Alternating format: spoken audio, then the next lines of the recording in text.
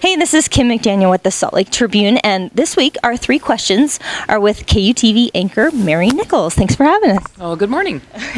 we are here talking to Mary because, as you probably have read, Mary was recently diagnosed with breast cancer, and she's going through her treatment very publicly. She's doing a blog and she's doing segments on the air. So we're here to ask her a little bit about that. So, how are you feeling before we start? Okay, I'm on day 10 now of after the first chemo treatment and amazingly feeling pretty well. I mean, I expect it to get worse. Right. And I feel I'm overanalyzing everything. Right. kind of feeling like, okay, is it my taste buds and neuropathy a little bit in my fingers and maybe toes? And I had a head cold and had to call the cancer center and say, okay, what do I do? Is Right. it do I treat it like a normal person or do I need to do something differently? Right. And uh, it's just been weird. Okay. It's just been weird. All right, so we're going to start. My first question is What has been the most surprising thing about all of this?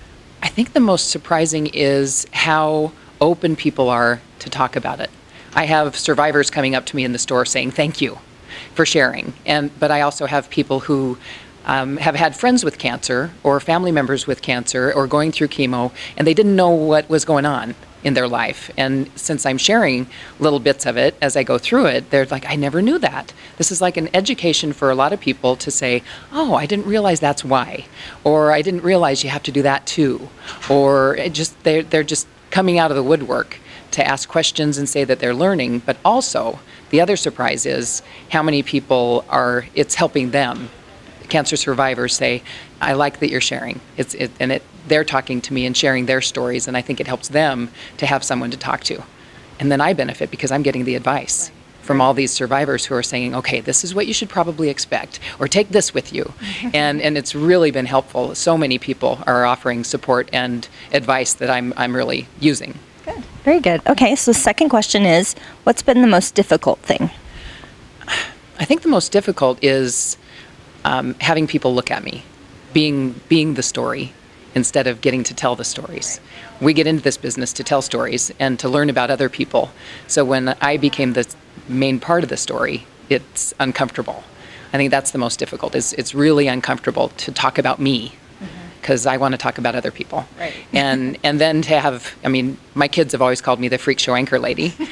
So if we go shopping or something and people come up to me, it's like, is that a friend? Do you know that person, or is it because you're the freak show anchor lady?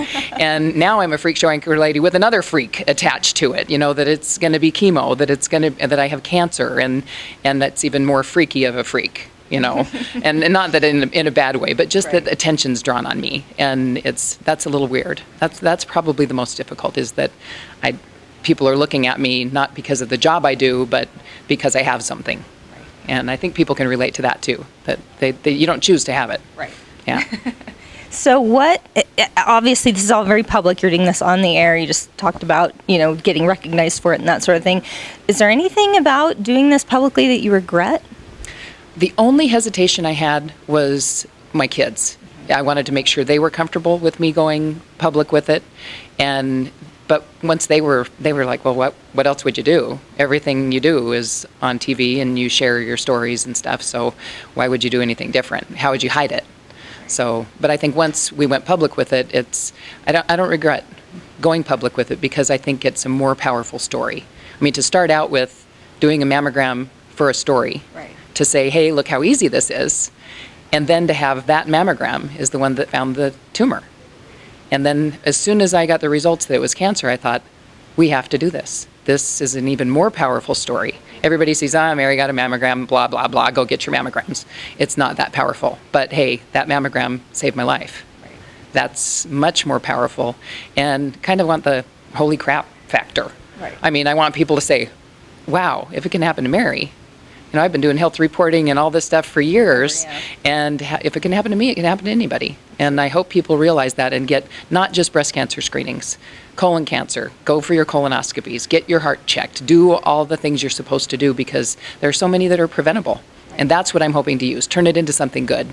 And plus, it makes me feel like I'm doing something instead of just sitting around waiting for doctors to fix me. Right. I feel like if I'm talking about it and educating people and maybe getting more people to be screened, then maybe I'm doing something too. You know, I feel like I might be accomplishing something. So. I'm going to cheat this time. I have a fourth question because we have one from our Twitter followers that Oh, they're good. dying to know. When and if it comes time to shave your head, are you going to do it on the air? Oh, I don't know. I was planning on letting my kids do it.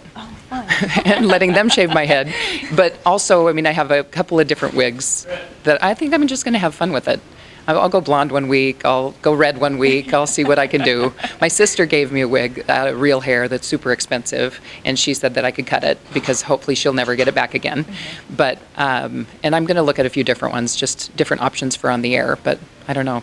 My, I was planning on kids shaving it. Maybe I'll have Casey Kids shave it on the air. have the kids shave it or have Casey shave it on the air. Even better. a little fun with it. But no, and that's what you have to do. Right. Yeah. Right. I know it's pretty traumatic for a lot of people. I mean, I've heard from a lot of people saying, I didn't think it'd be that big of a deal, but it is. And I'm ready for that too, I think. We hope so. We're, everybody's pulling for you. I know we are. Uh, thanks a lot for being with us. Good, good. Thanks for being with us, Mary. And this has been Three Questions.